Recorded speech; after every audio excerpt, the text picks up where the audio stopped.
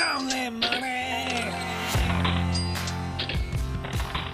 Place your bets, ladies and gentlemen.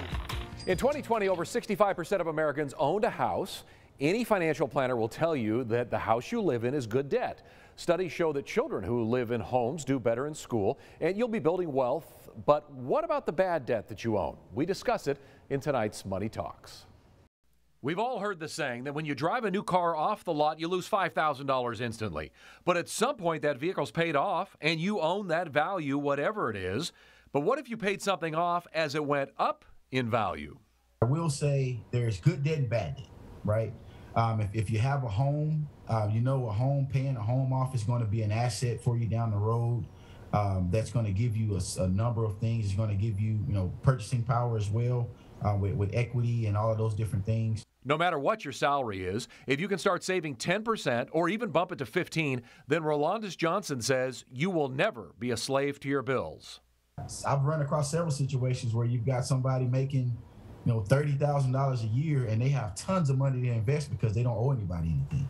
And then you you've got the same, you know, on the other I, clients that are making 250 300000 dollars a year and they have maybe $100 a month to invest because they got so much that they're trying to buy and banks are giving them money just offering them money and, and they're taking it the average American has over $5,000 in credit card debt. And that interest that you pay on that every month could be money that's invested or in your budget.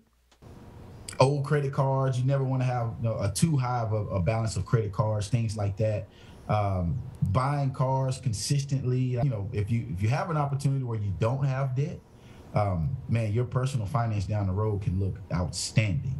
And we Americans know how bad those car payments can be.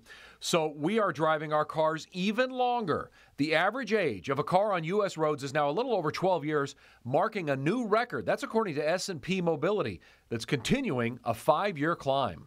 I know one thing me and my wife are we we've become proud of now as a habit is when we get a car, we want to make sure we pay it off before we buy something else, right? The good debt and bad debt is going to depend on your personal situation, but y'all, I always tell my clients to invest in things or if you're going to buy things that are going to be an asset to you down the road.